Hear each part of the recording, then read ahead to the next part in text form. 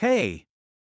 Today I would like to do the first video in a series of videos I'm planning on Advanced Linux Sound Architecture, ALSA. This one is just going to focus on some of the basic introductory setup aspects. Let's get started. So first, why ALSA? Well, it's basically universal on Linux. It's also very stable. Also, compared to some of the alternatives, I'm thinking about Pulse Audio and Jack specifically, I find it easier to set up and use. It's well documented, and there are a lot of great examples. We have the C library reference here, which is very helpful. We have a lot of great examples, and I'm planning on talking about some of these in later videos. There are also some really great projects out there. The one that immediately comes to mind is phasex. And this is something else I plan to look at more in future videos.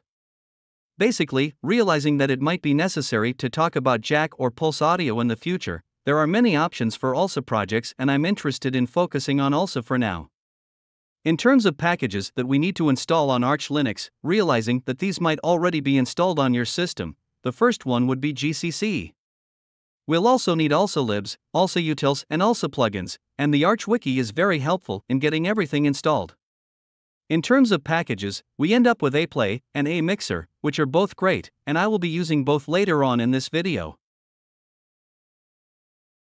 Next, for some simple introductory sample code, I would like to look at Introduction to Sound Programming with ALSA, written by Jeff Tranter in 2004. The example I would like to work with is Tranter's Simple Sound Playback. This example reads from input and writes to the default PCM device for 5 seconds of data. This program is very basic, but I think it's also very useful for getting set up and running with ALSA programming. There are also lots of comments, which is always great. I have send PCM HW params T highlighted in order to demonstrate how to use the C library reference. When I am unsure of what something is or does, I can actually look it up and get some additional information. In terms of the source code for this example, it will be necessary to get a copy on the system.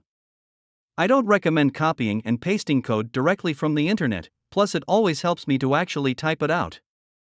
On my system, I was able to compile the code with no issues, but every system is a bit different.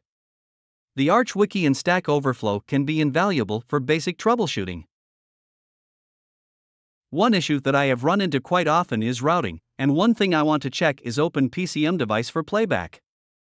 The initial setting in the original code is default, and that's aiming at the default PCM device. But, depending on setup, I might need to change this prior to compiling, or I might not get any audible output. Aplay is a really helpful tool, and aplay-l can be used to print a list of devices to the console. In my case, default works great, but if I wanted to use a different device, I could enter that device in place of default. One thing to keep in mind is that, even if the device is not set up for output, if I tell the program to send there, it will. As this could potentially damage some devices, it is important to be careful when making this setting. Another thing I want to cover is naming conventions. In this case, it is plug HW, colon device number, comma subdevice number. So plug HW00 would be aiming at my first device and first subdevice. If I change device to 1, I'm now aiming at my second device, which would be my headset. If I change device to 2, I would be aiming at my audio interface. But the default setting is fine for me. So next, let's compile it. The compile command is very easy. GCC program name.c minus o program name without .c then minus la sound to link ALSA. If I forget la sound, it will throw a bunch of errors. Then, we need to run it. Period, or dot, forward slash, simple playback, which is our compiled program name. The problem is we need some kind of input. Tranter recommends sending slash dev slash urandom. This just sends random data to the program and it will output some noisy static. It might be really loud, so prior to running, I am going to adjust levels with ALSA Mixer to prevent damaging my ears or speakers, and arrow keys will allow me to adjust the setting. Next, I'm going to run the program. It's going to play about 5 seconds worth of white noise. So just be aware you might want to mute volume, switch to speakers, or take your headphones off for this next part.